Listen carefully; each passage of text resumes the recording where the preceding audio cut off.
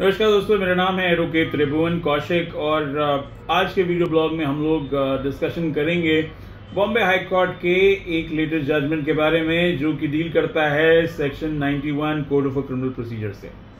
भाई, सबसे पहले समझिए section 91 code of criminal procedure बात करता है कि जो अक्यूज है, उसको वो सारे दस्तावेज़ मुहैया होने चाहिए जो उसको दरकार होगी अपना इनोसेंस प्रूव करने के लिए, या जो भी दस्तावेज़ पुलिस ने या एजेंसी ने कोर्ट के सामने दिए हैं।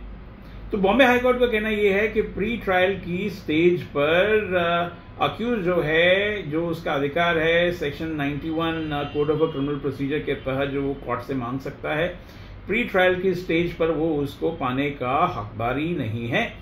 ये जो है, इसको इन्वोक किया जा सकता है सेक्शन 91 को जब ट्रायल शुरू हो गया है मुकदमे में।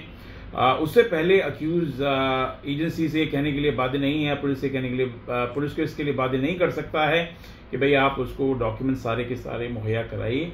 तो दोस्तों, ये बॉम्बे हाई कोर्ट का जजमेंट है प्री ट्रायल स्टेज पे डॉक्यूमेंट्स को अक्यूज को देने के बारे में। दोस्तों, मेरी कॉन्टैक्ट डिटेल्स इस पूरे वीडियो ब्लॉग के दौरान आप लोगों के सामने रही हैं। साथ ही साथ आप मुझे फॉलो कर सकते हैं on various social media platforms और यूट्यूब पर तो आप ये वीडियो देख रहे हैं।